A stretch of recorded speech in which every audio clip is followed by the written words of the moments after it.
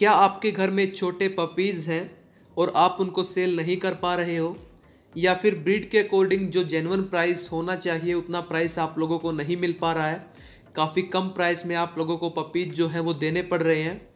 या फिर क्या आप इस डॉग ब्रीडिंग की लाइन में नए हैं और आपका किसी दूसरे ब्रीडर या फिर ट्रेडर के साथ कोई कॉन्टैक्ट नहीं है, जिसकी वजह से आपको पपीज जो है वो सेल करने में काफ़ी समस्याएँ आ रही हैं? अगर आपको इनमें से कोई भी समस्या आ रही है तो घबराइए मत। इस वीडियो में आपको इन सभी समस्याओं का जो सोल्यूशन है, वो मिल जाएगा। दोस्तों, मैं राजीव वेलकम करता हूँ आपका अपने यूट्यूब चैनल डोगी शोगी पर। और वीडियो शुरू होने से पहले मैं आप लोगों को बता दूँ कि जो भी पपीज या फिर डॉग्स इस वीडियो में शो किए गए हैं, वो ना तो मेरे पास हैं और ना ही सेल के लिए मेरे पास अवेलेबल हैं। अगर अभी तक आपने चैनल को सब्सक्राइब नहीं किया है तो प्लीज़ सब्सक्राइब कर लीजिए। इसी तरीके से डॉग से रिलेटेड वीडियोज़ जो है, अपने चैनल पर पोस्ट होती रहती हैं। तो चलिए शुरू करते हैं।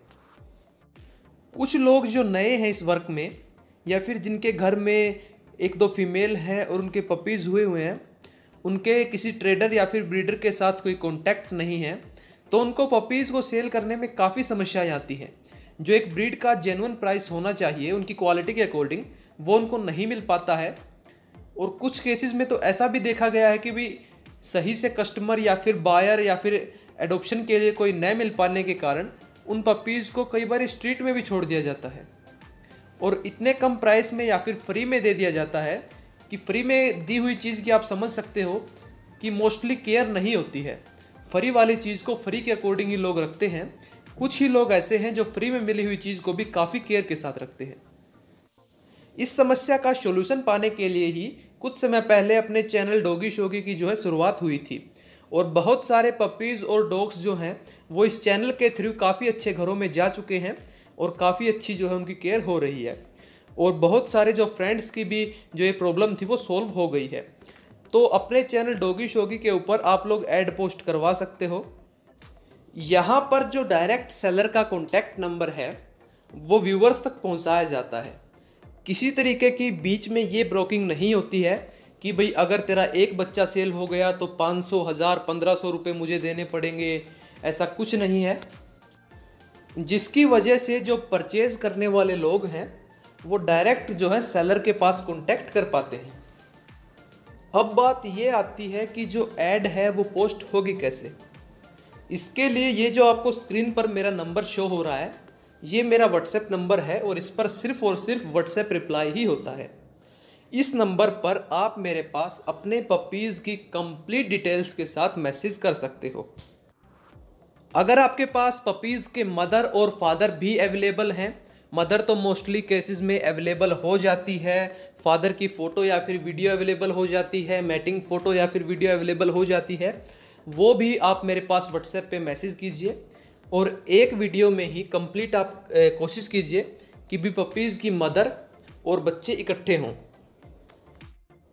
वीडियो जो आपको मेरे पास भेजनी है, वो कम से कम इतनी तो भेजनी है कि भाई उन सभी को कंबाइन करने के बाद तीन चार मिनट की वीडियो तो कम से कम बन जाए। और वीडियो जो आपको मेरे पास भेजनी है, वो वाइड एंगल में भेजनी है। वाइड एंगल से मेरा मतलब है कि भाई आपको फ़ोन को टेढ़ा कर कर वीडियो बनानी है, जैसा कि आपको स्क्रीन पर शो भी हो रहा है।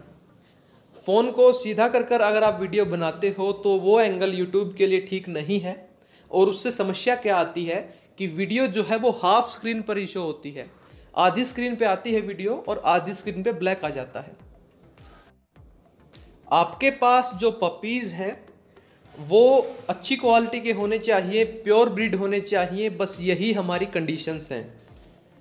ऑल ओवर इंडिया में कहीं भी आप हो, मेरे इस व्हाट्सएप नंबर के थ्रू आप लोग जो है ऐड पोस्ट करवा सकते हो डायरेक्ट आपका नंबर व्यूवर्स तक पहुँचा दिया जाएगा। चैनल पर आप किस तरीके से ऐड पोस्ट करवा सकते हो, उसकी इन्फॉर्मेशन जो है वो मैंने आप लोगों को दे दी है। अगर आपको ऐसी कोई समस्या है आपके पपीज सेल नहीं हो पा रहे हैं या फिर आपके पास क्वालिटी अच्छी है और आपको जेनवन प्राइस नहीं मिल पा रहा है तो आप मेरे पास जल्दी से जल्दी ऐड पोस्ट करवाने के लिए कॉन्टैक्ट कर सकते हो। वीडियो को लास्ट तक देखने के लिए दोस्तों आपका धन्यवाद। अच्छी लगी हो तो लाइक ज़रूर करें। आपका कोई क्वेश्चन है तो आप कमेंट बॉक्स में पूछ सकते हो। और चैनल को सब्सक्राइब करके बेल आइकन को प्रेस ज़रूर करना है आप लोगों को, ताकि अगर फ्यूचर में कोई भी नई वीडियो पोस्ट हो तो उसकी नोटिफिकेशन जो है वो सबसे पहले आपके पास आए। आप सब्सक्राइब तो कर देते हो, लेकिन बेल आइकन को प्रेस नहीं करते हो। इस चीज़ का भी आप ज़रूर ध्यान रखें। धन्यवाद।